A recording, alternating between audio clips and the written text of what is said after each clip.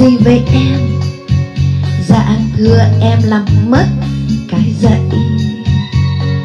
Sao vậy em? Dạ thưa là ngày xưa cháy trường. Vậy làm sao mà đỡ? Rồi làm sao mà giúp? Ngồi vào đây em nhé, Để chị đây phủ váy. Tiền ở đây chị rót Thiện nguyện em lấy tiếng. Vậy là rút lui an toàn. Mất cái gì vậy em?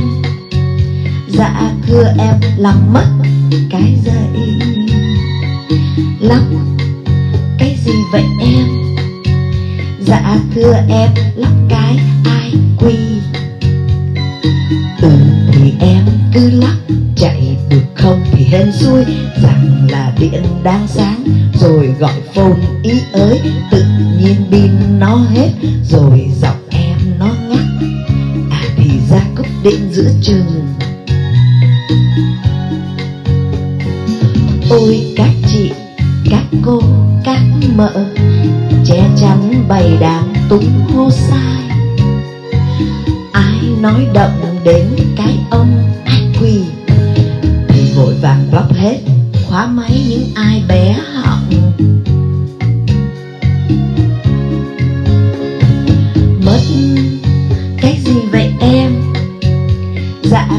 em làm mất cái dậy. Sao? Vậy em? Dạ thưa em là con ông trời. Bà chị này mua ghế, Bà chị kia quyên góp. Người cầm quạt hai bên Chỉ cần ngồi vào ghế. Mình làm vua một cõi, Mồm miệng em khoác lác. Thảnh thơi em khoác luôn lòng bào.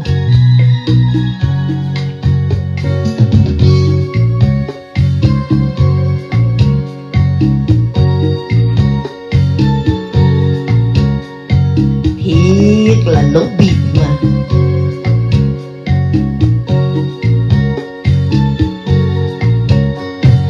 Nhớ ngày nào Mặt em ngoan như là cuốn cột đuôi. Khi người giúp, Trời ơi, sao chỉ nói đã tài.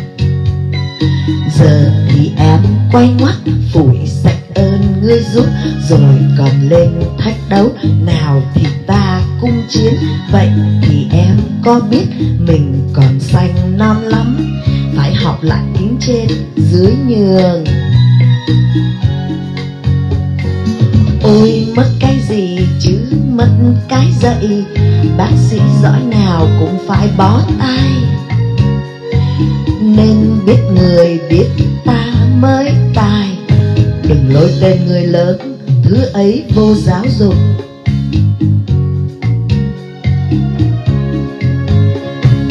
Mất gì vậy em?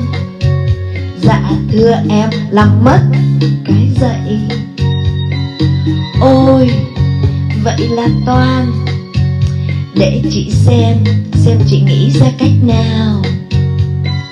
Từ thì mình gom rác vào càng đông càng tốt, Càng chữ nhiều càng khoái Chửi chẳng cần bằng chứng, Chỉ cần che với trắng Để thằng em nó núp Vậy giải cứu đã thành công. Như ngày nào, Mặt em ngoan như là cuốn cụt đuôi.